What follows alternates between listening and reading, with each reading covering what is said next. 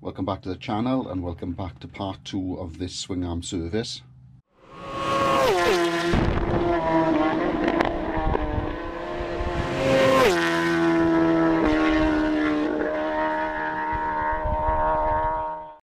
We've got some parts back from the, the dealership.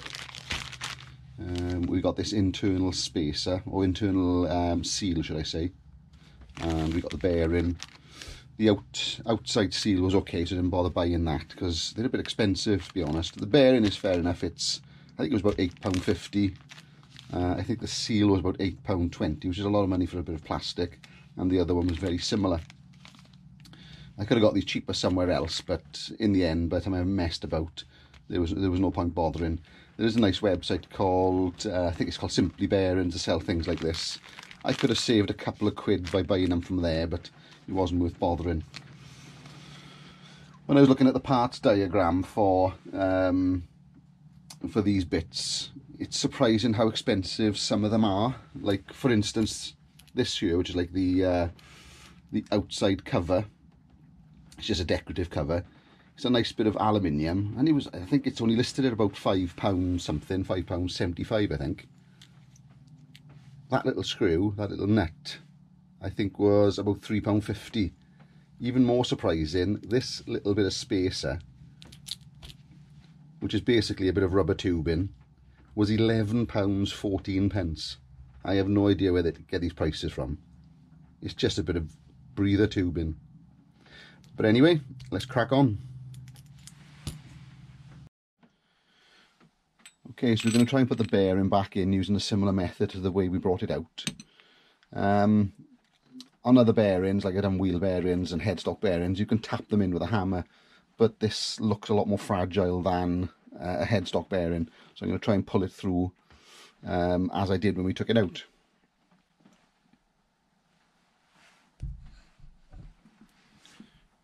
We're going to have to try a slightly different method than putting that in there because that will just pull back through and I can't get anything bigger in there.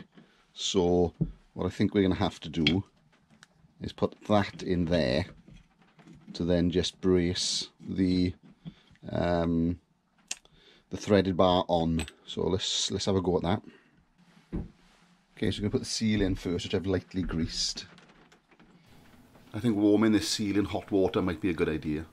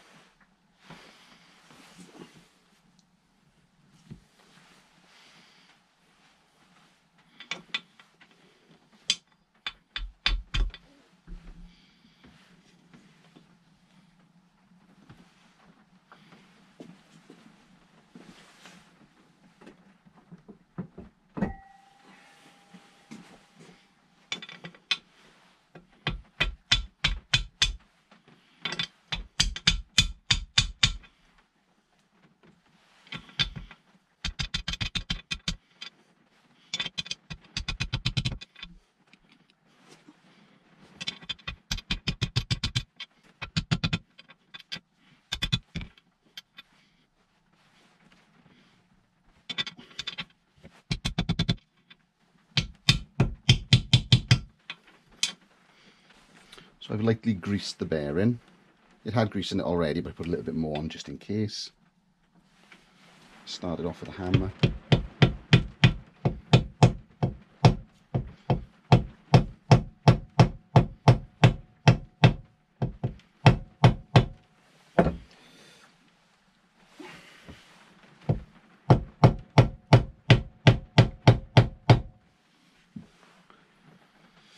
Okay, see if we can pull it through.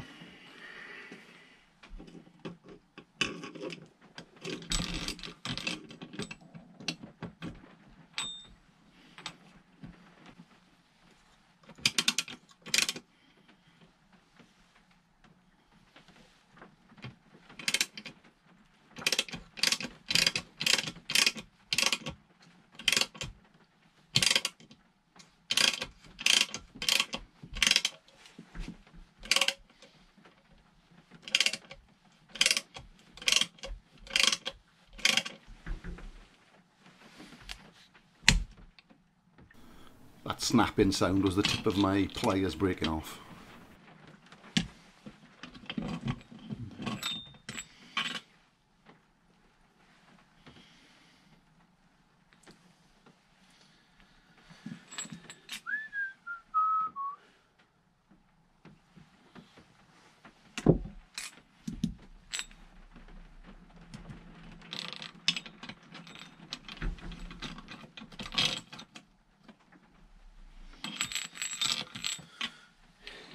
might be hitting it in now. Don't fancy this, but here we go.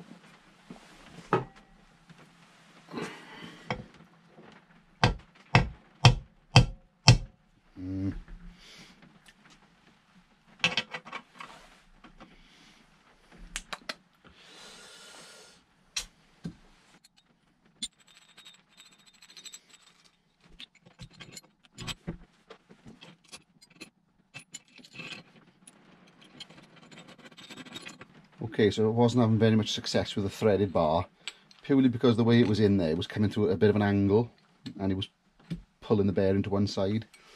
So what I've done now, I've sacrificed this G-clamp by cutting the end off it, so I can slot it into this little gap, like that, and hopefully then just screw this down. And I'm putting an oversized socket over here, so it spreads the the weight a bit more evenly, and then I'll put the the other one back on.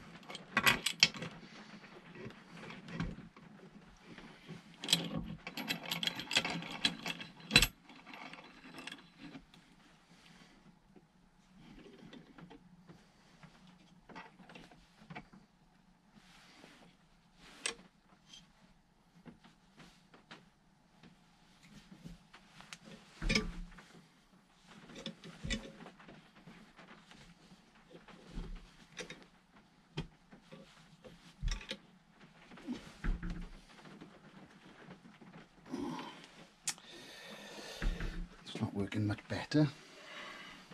Just pull into one side as well.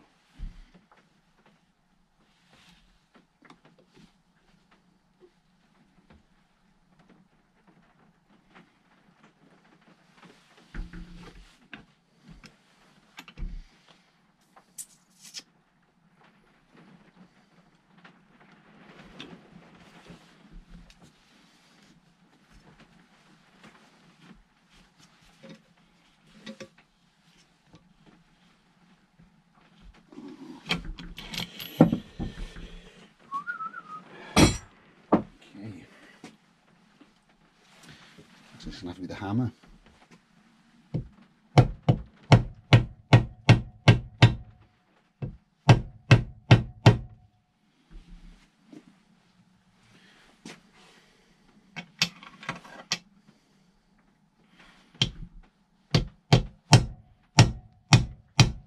It's not going in too bad with this, to be honest.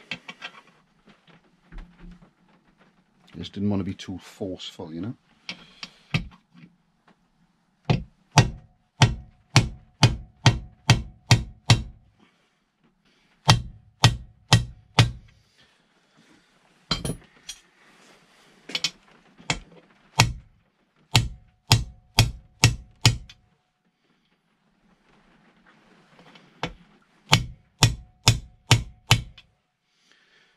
As far as it'll go with that. Okay, with the bearing in, I'm just going to pop the seal in. Now, to be perfectly honest, I don't think hitting the bearing in was the best thing to do. In hindsight, I would have uh, taken it to maybe to a machine shop and got it pressed in. But it all seems to be working, so see how it goes. Okay, so a bit of a change of plan. I've taken the bearing back out. Um, even though it seemed to be turning okay, by hitting it in, which I was not keen on doing anyway, um, I think I managed to bend the inner race slightly so you could feel it on the inside. Um, when I put the sleeve back in, you could hear it grinding on the outside. It was making little scuff marks. So don't hit the bearing in. I wasn't keen on doing it to start with. So we're going to have to try and persevere with this. Now, what I've done instead, this won't go all the way through the swing arm, so I got another bolt, which I'm going to put on there, and then I'm going to attach them together and then I'll have a slightly longer bolt. Let's give that a go.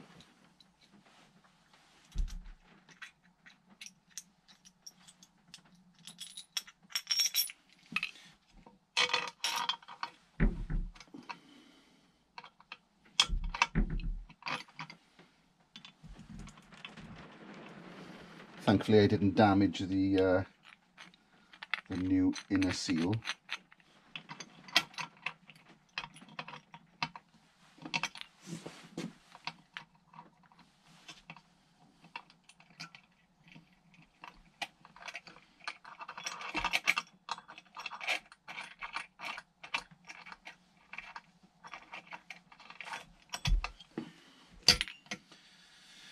Okay, so now I'm a bit longer give this a go. I don't. I'm going to try not to hit this one at all.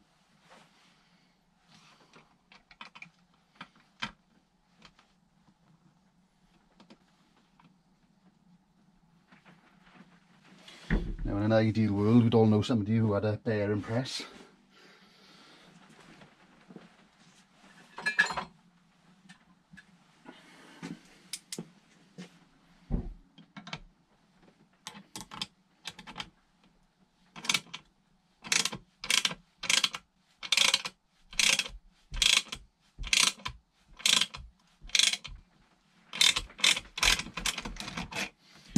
make sure this goes in relatively straight.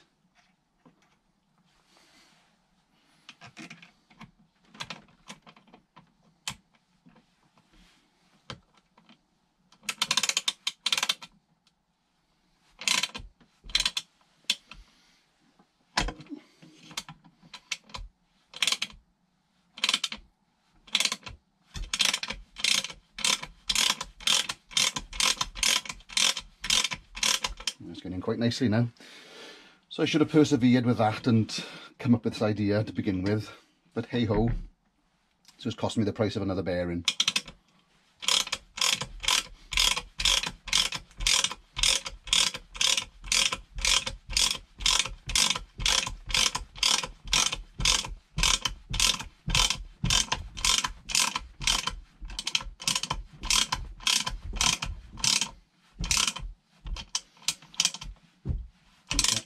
as they say, you live and learn.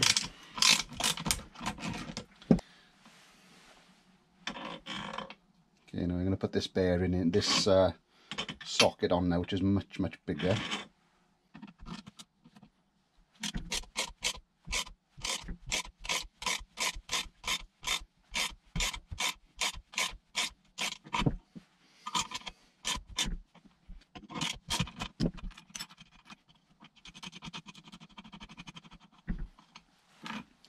Little bit more careful with this one because the inner seal is on the inside. You could end up compressing it too much, I think. If you were just going metal against metal, it wouldn't matter.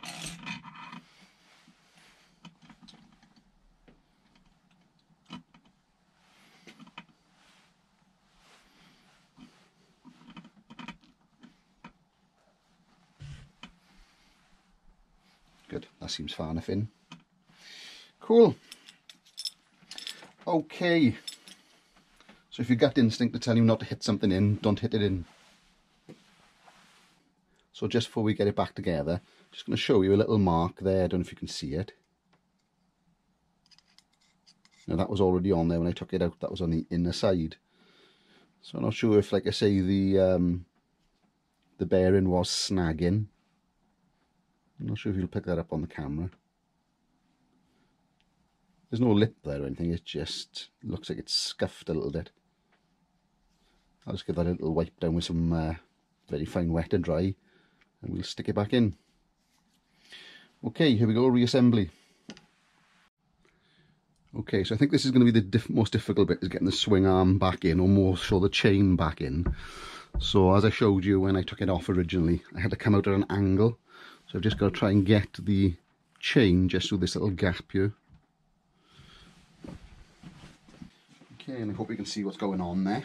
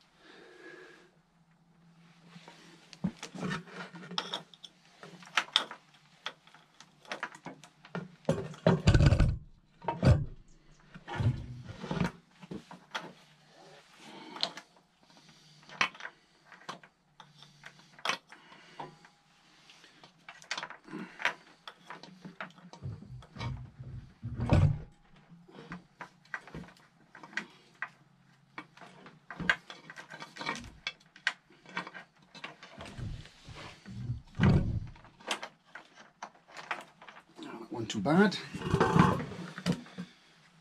You've got to kind of put it in and turn it flat and then drag it through if you like. A bit fiddly. Okay, now talking about fiddly, I've got to try and get this bloody screw back in here. a bit of a nuisance. Just going to try and put the swing arm bolt back in to try and support the swing arm for me.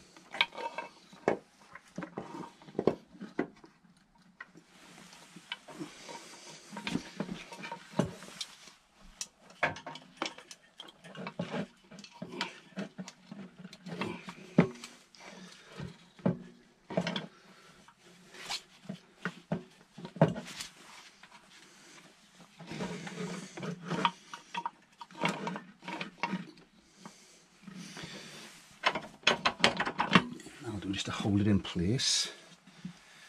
I can see if I can screw that back on. Let's see if we can get this screw in. It's a bit fiddly. It did have some thread lock on it, which I've again put some on.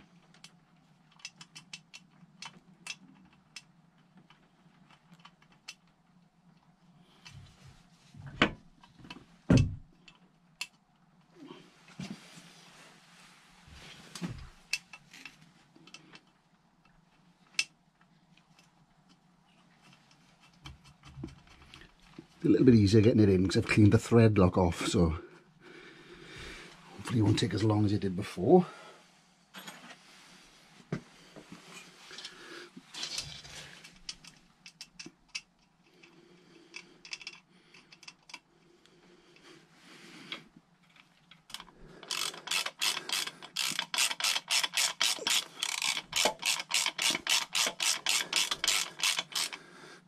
torque setting for these, but I have no idea what it is. And I can't be bothered to find out.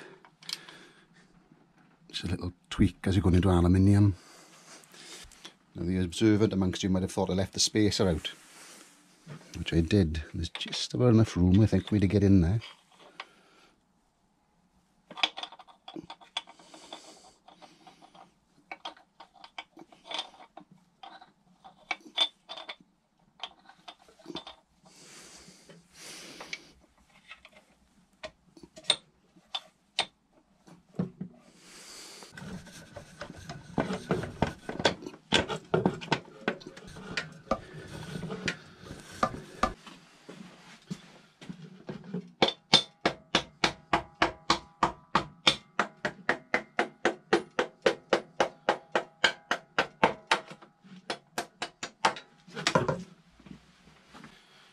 Okay, so I think the manual now says to wind the uh, spacer back in on the right hand side. Now I did make my own tool as you've probably seen in the last video.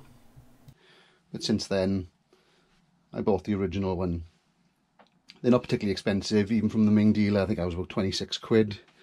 I think I had it for about 16 pound from a company called um, GB Products I think it's called. I'll put a link in the description below and it's free postage as well which is good.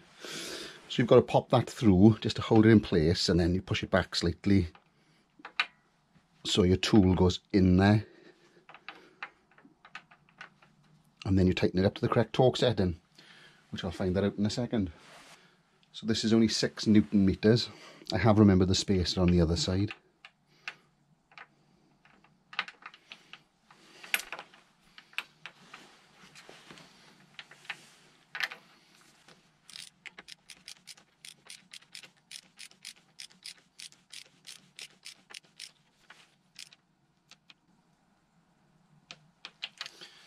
That's nothing.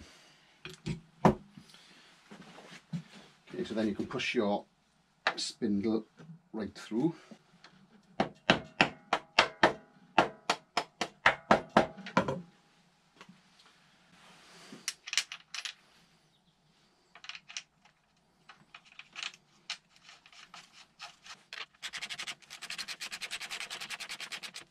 Okay, and the swing arm spindle net is 110 newton meters.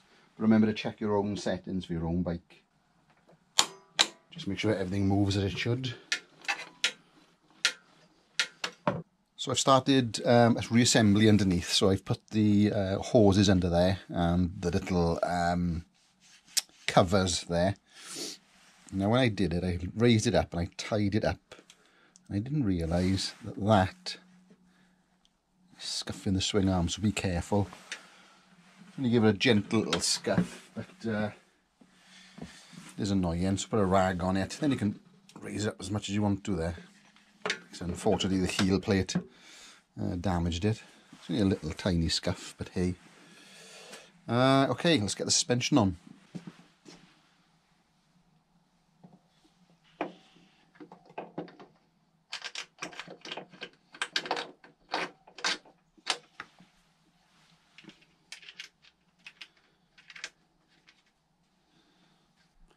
Try and get the suspension linkage in.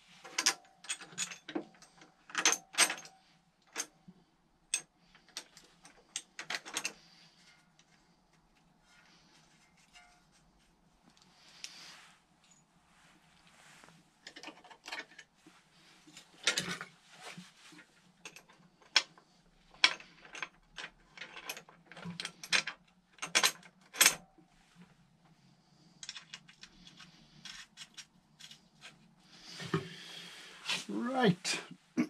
Okay, we'll just torque all those up if I forget.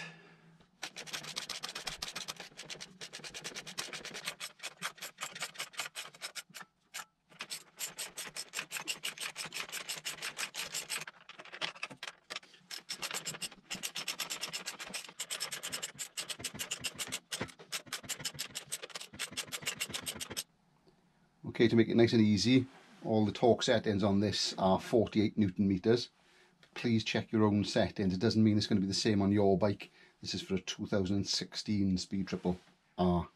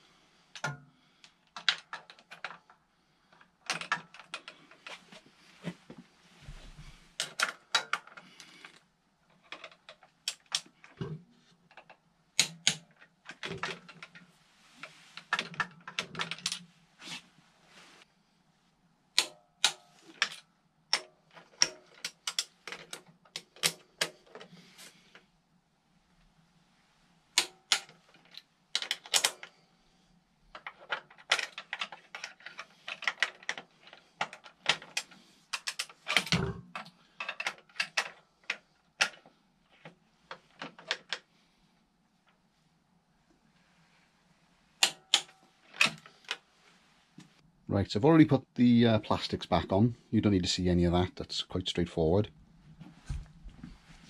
So you might find it a bit easier if you get a screwdriver like that. Just give it a little tap to go in there, just to widen it out a little bit. I have greased this up with copper grease. There was quite a lot on the outside. There wasn't so much on the inside, and I think that's where you really need it. And by spreading it out like that, hopefully most of it won't rub off.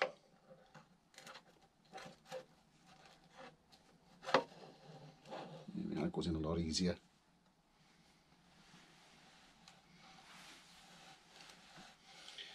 Nice and smooth. And you can just pop that out.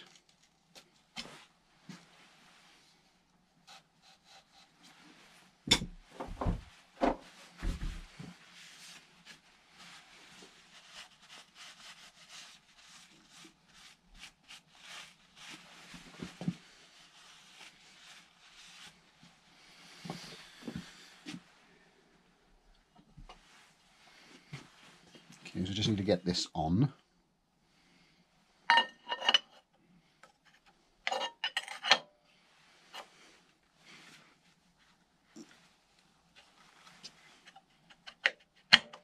So just fits over like that. Just going to put some grease, again, a little bit of copper grease on the inside here.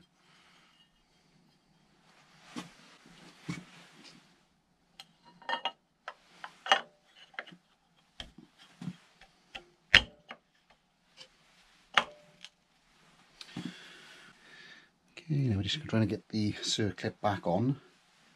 I'm not sure if there's a specific way to go back on, where there's a front or back side, so I'm just putting it back on the way it was.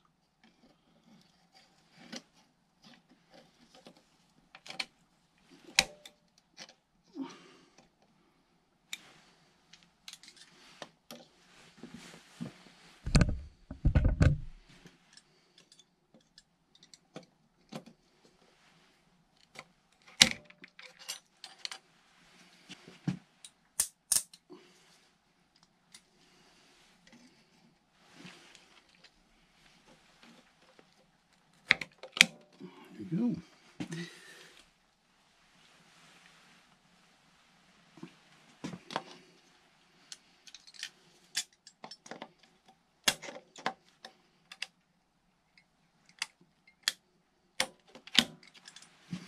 Make sure it's seated properly. Just going to have a clean around now to get rid of some of the excess copper grease. Okay, let's get the disc and the hub back on.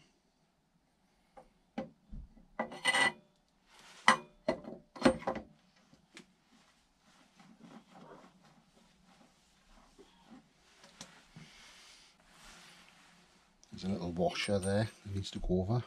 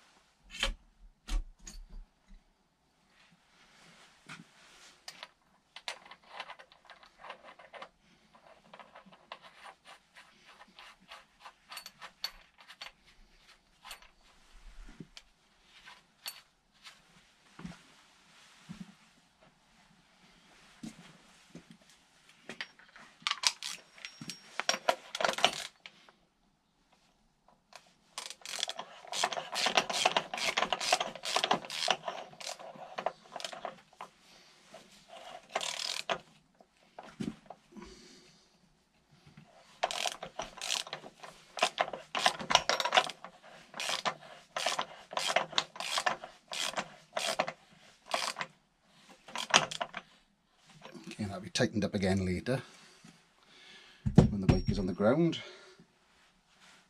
Let's try and get the brakes on.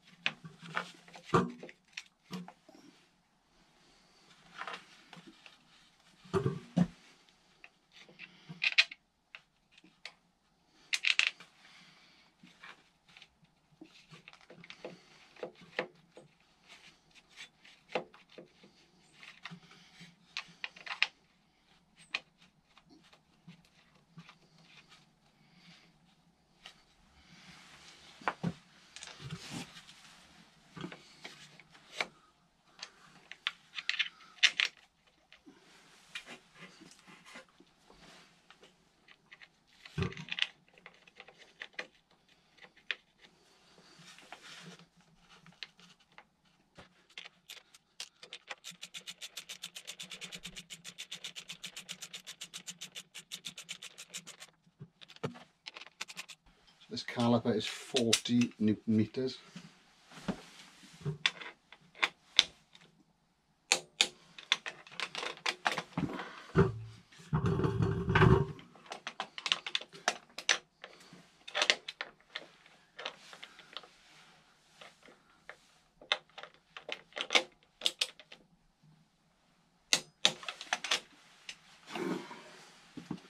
Okay, your ABS sensor. The torque setting for this is 9 newton meters.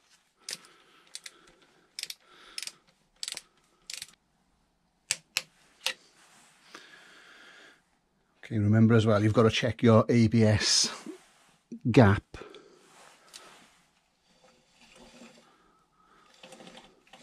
Which I'll probably do after I've tightened everything up. Right, just the wheel now, I think.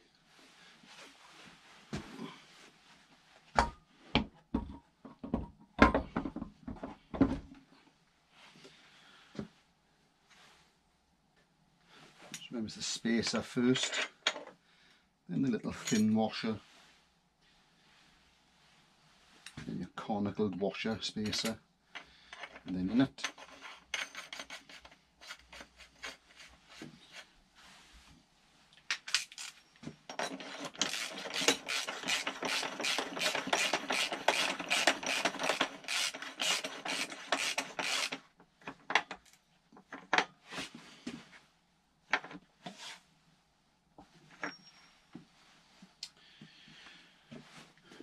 Okay, now that's pretty much it. Make sure you go around the, your work and check it. I'm just going to put the exhaust back on, which you don't need to watch.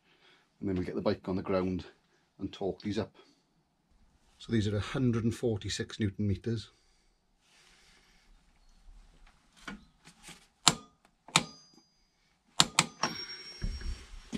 Okay, remember to restake the nut.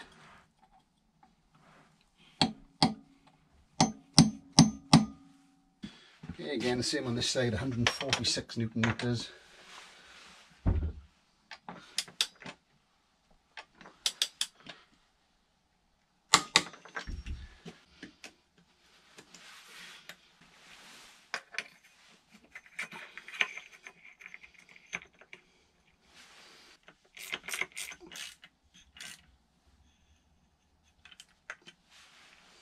So that wasn't a particularly difficult job, it's just a bit time consuming with a lot of strip down and parts to take off. Now there's no specific service interval for the swing arm, you just do it as and when you feel you should. Now in hindsight I probably wouldn't have bothered with this bike, uh, it's quite low mileage although there was one slightly grumbly bearing. But if your bike is kept outdoors or it's high mileage or you feel there's something not right, uh, then you may want to do it. Apart from that I probably wouldn't have bothered. So if you like that video, hit the like button and subscribe to the channel. Thanks for watching.